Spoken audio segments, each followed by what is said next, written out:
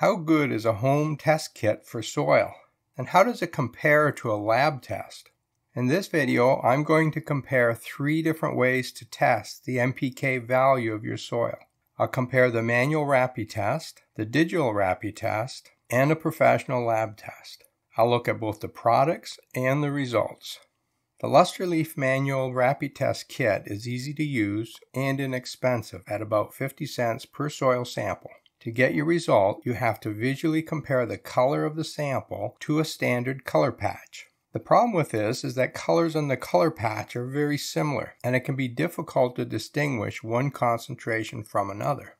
The Lustreleaf digital meter is a bit more expensive. The initial kit costs $50 versus $20 for the manual kit, and you only get enough chemicals for five tests. But you can buy additional refill chemicals at about a dollar per soil sample. This product uses the exact same tests and chemicals as the manual kit. The difference is that an electronic meter is used to make the measurements instead of your eyes. I wonder if that makes the results more accurate. I've tested my soil with both kits, and I've made a separate video on each one. They provide more information, show you how to get your soil sample, and on how to do the test. I also sent my soil sample to a local professional soil lab to get their results. Here's a comparison of all three results.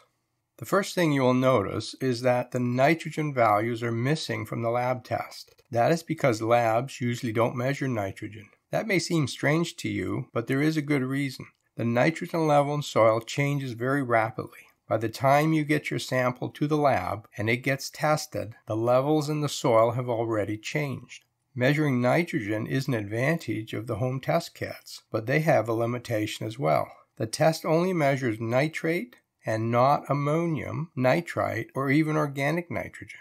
Plants can use both nitrate and ammonium, and it is important to measure both. The other thing you will notice is that the lab results give you actual parts per million values.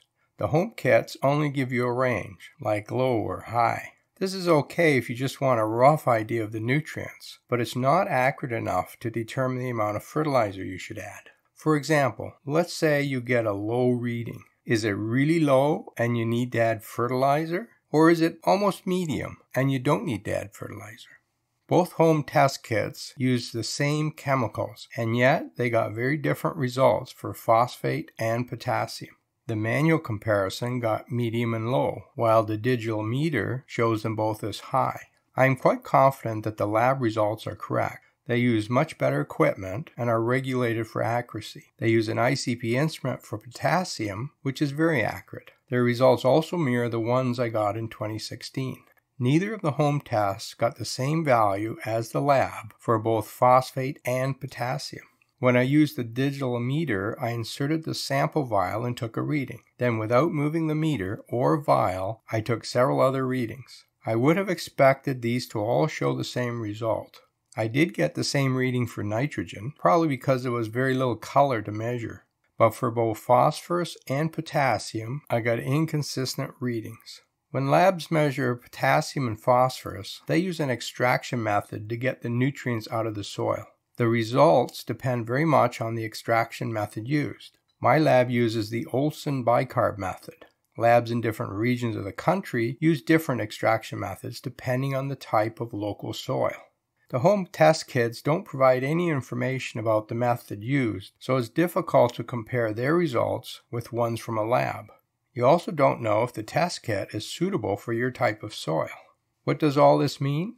The Rapitest soil kits are considered to be some of the best home kits on the market. If you are going to buy a kit, I would suggest getting the manual Rapitest kit. I am not convinced that the digital meter gives you better results.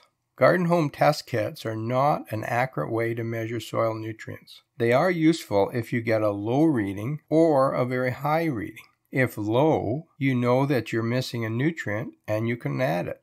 If high, you know that you shouldn't add any more of that nutrient or the soil might become toxic. Middle of the ground readings are not very useful. Without getting actual nutrient ppm values, you really can't figure out how much fertilizer to use. And if you're just going to gas, then why bother doing a soil test in the first place? Lab tests also have a problem. Nitrogen is the most likely nutrient that is missing from your soil, and they don't measure it. So even if you get a lab test done, you don't know how much nitrogen to add to your soil. So what should you do? Here's what I do.